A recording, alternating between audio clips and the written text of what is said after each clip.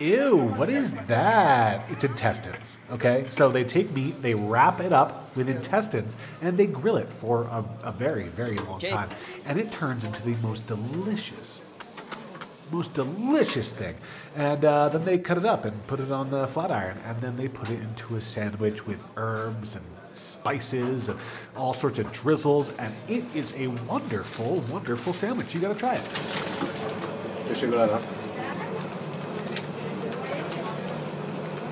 problema.